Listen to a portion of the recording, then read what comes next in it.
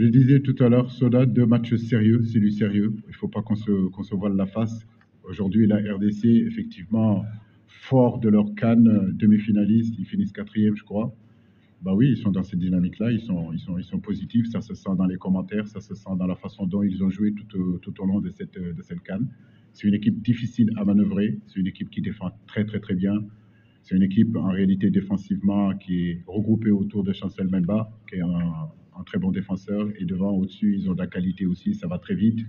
Oui, ça, ça va très vite. Bon, là, ils ont leur attaquant qui est blessé.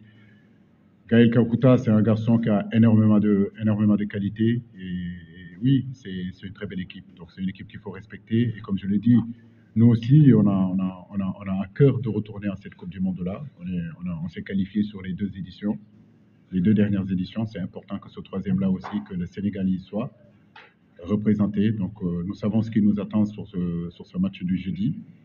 La Mauritanie, comme vous le savez, c'est notre, c'est nos voisins. Voilà, donc euh, c'est le même peuple, j'ai envie de dire. Il y a des Sénégalais qui sont en Mauritanie, comme des Mauritaniens qui sont ici au Sénégal. Nous savons qu'on sera attendu là-bas, d'autant plus que, euh, je crois que c'est Djibril qui a posé la question. Il y a aussi des Sénégalais, en réalité, qui pouvaient jouer avec nous, qui ne jouent pas avec nous. Ils auront à cœur de se montrer et, de se faire voir. Mais je crois qu'il faut qu'on garde notre sérénité, notre calme habituel et surtout travailler ces deux matchs-là et essayer de faire le meilleur résultat possible. Mais je vous garantis que vous avez raison. Comme on dit, on a, on a deux gros matchs.